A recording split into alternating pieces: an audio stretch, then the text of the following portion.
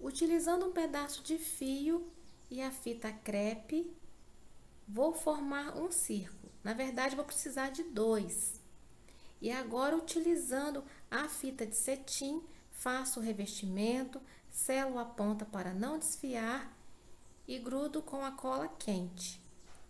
Faço isso com os dois círculos e vou uni-los com mais um pedacinho de fita.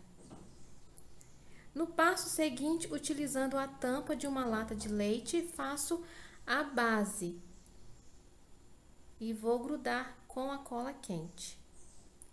Espero a cola secar para colocar as flores de fita de cetim.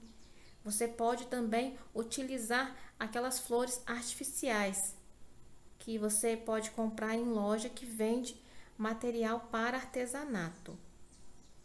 Faço esses detalhes aí na parte inferior e superior e está pronto o nosso porta-velas.